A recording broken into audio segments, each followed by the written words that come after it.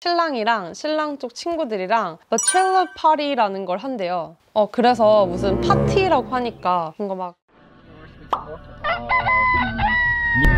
What is that? I think the uh, like I might just be assuming that all the artists are shit.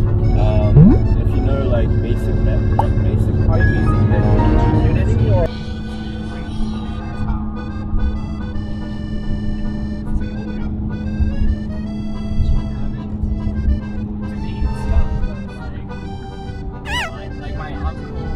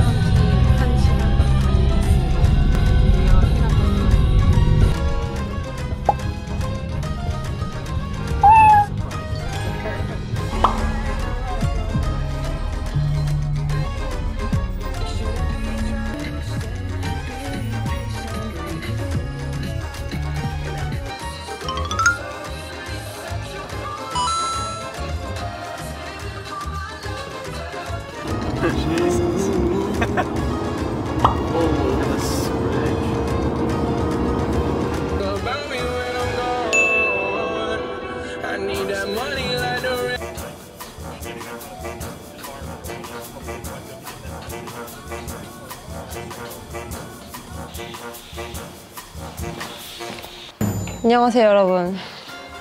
아 어머. 안녕하세요 여러분. 저는 지금 뉴질랜드 북섬의 네이피어라는 곳에 와 있습니다.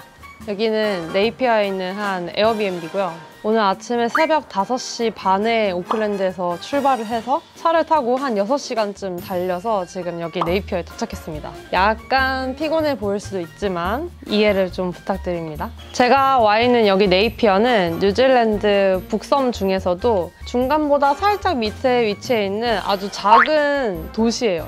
도시? 도시라고 하기에도 뭐하고 좀 뭔가 시골틱한 약간 타운 느낌인데 제가 이런 시골 같은 네이피어에 온 이유는 여기에서 이번 주 금요일에 제 남자친구의 친구 의 결혼식이 있습니다. 사실 저랑 직접 완전 친한 친구는 아니지만 예전에 같이 밥도 먹고 그랬던 적이 있어서 저도 함께 초대를 받아서 이렇게 결혼식에 참석을 하려고 왔는데요. 근데 사실 지금은 수요일이거든요. 결혼식이 금요일인데 왜 제가 수요일부터 왔냐면 한국에서의 결혼식은 어떤 웨딩홀에서 막 시간대별로 결혼하는 커플들이 있잖아요. 근데 여기는 결혼식 자체가 약간 거의 하루 종일 진행을 한다거나 이틀, 3일에 걸쳐서 진행되는 경우가 좀 더 대부분인 것 같아요. 그래서 결혼식 당일은 금요일이지만 이렇게 결혼식 이틀 전에 신랑이랑 신랑 쪽 친구들이랑 bachelor 파티라는 걸 한대요. 어 그래서 무슨 파티라고 하니까 뭔가 막 와인 마시고 막 뭐 술 마시고 이런 파티인 줄 알았는데 그게 아니라 그냥 같이 노는 거래요 친구들끼리 그래서 지금 bachelor 파티로 뭘 하러 갔냐면 여러분 옛날에 우리 막 중학교 때나 이렇게 수련회 같은 거 가잖아요 그러면 클레이 사격 같은 거 아시죠? 막 놀고 술 마시고 오늘 밤 늦게 들어올 예정이라고 합니다. 그래서 이 에어비앤비는 저랑 제 남자친구만 있는 게 아니라 오클랜드에서부터 같이 차를 타고 온 친구들까지 같이 묵는 숙소예요. 그래서 지금부터 여러분들께 이 숙소를 소개해 드리겠습니다. 먼저 문을 열고 들어오면 이런 뷰가 보여요. 되게 예쁘죠?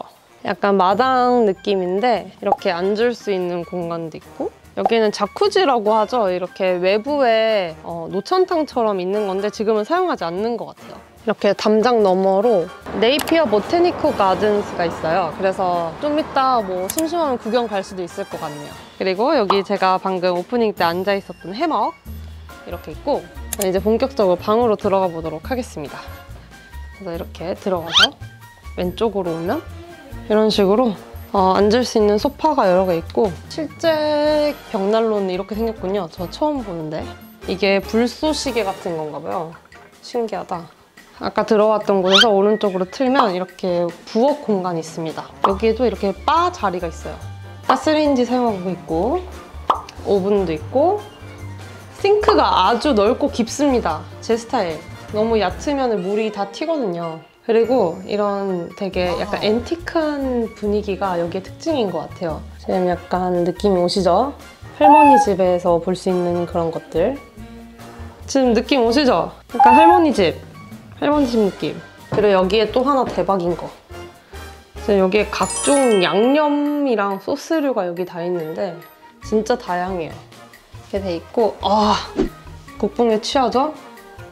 이런 뉴질랜드 시골에서도 이렇게 샘숭 가전제품을 쓰고 있습니다. 자 이제 방으로 올라가 볼게요. 방은 다 위층에 있어요. 이렇게 계단을 타고 쭉 올라가 보겠습니다.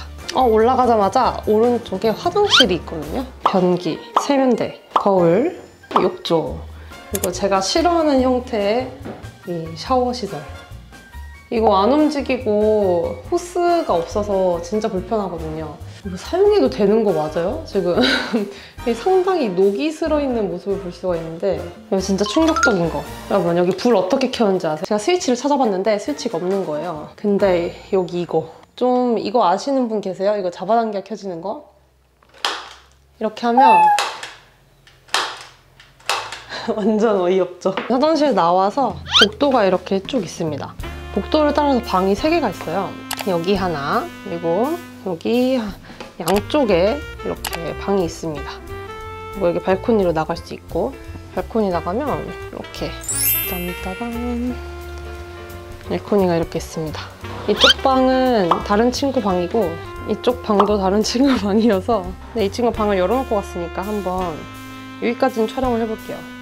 방마다 이렇게 침대에 테디베어를 놔두셨더라고요. 지금 여기가 저희 방인데 들어가 보면 일단 여기도 귀여운 곰돌이가 저희를 맞이를 해주고 있고 조명이 여- 이거 보세요 여러분. 샹들리에. 지금 저 유럽 온 줄 알았잖아요. 샹들리에가 그 장식용이 아니라 이렇게 메인 조명인 거는 저는 이런 방은 처음 와보거든요. 어, 예쁘긴 한데 되게 낯서네요. 이걸 잡아당겨야 껐다 켰다 할 수 있어요 여러분 이게 제 옷이 아니고 여기 이렇게 걸려져 있어요. 이것도 다 그냥 여기 원래 걸려있던 거고 여기 이런 모자들, 깃달린 모자들 이런 소품들이 놔져 있거든요. 물론 진짜는 아니겠죠. 진짜는 이렇게 두고 다니지 않겠는데 이건 되게 앤틱한 이런 좀 더 다시 한번 전체적인 샷을 보여드리자면 이렇게 생겼습니다. 하여튼 여기가 에어비앤비 전용으로 사용되는 숙소이다 보니까 엄청 넓고 뭐 시기별로 가격이 다른지는 모르겠는데 저희는 여기 1박에 230불 정도 했거든요. 한화로 하자면 하루에 한 20만 원 정도? 네, 4명이서 자니까 하루에 한 명당 5만 원 꼴로 자는 겁니다. 그래서 가성비 나쁘지 않은 것 같습니다.